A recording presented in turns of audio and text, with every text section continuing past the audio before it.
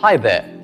Searching for the steps to turn off private browsing in Mozilla Firefox on your Windows Vista based computer? Well, I'm here to help you do just that. At iYogi, we attempt to ease the frustrations you experience with daily use technology. If you want, you can turn off the private browsing as and when you like. Also, remember that the menu will turn back to orange when private browsing is off.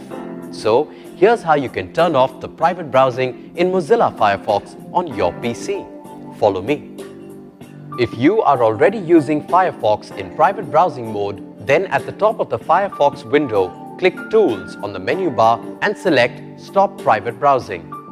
The windows and tabs you were using when you enable private browsing will appear and you can use Firefox normally. So, you see, by following the steps given in this video, you can turn off the private browsing on your Windows Vista based PC without any hassles. Don't you just love technology?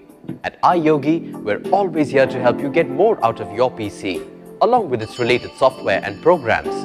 If you have questions on antivirus, security, protection, or on how to work your other devices with your PC, such as syncing your printer, MP3 player, camera or router etc., just give us a call. We'd be delighted to help. Go ahead, have fun with your PC. Good karma.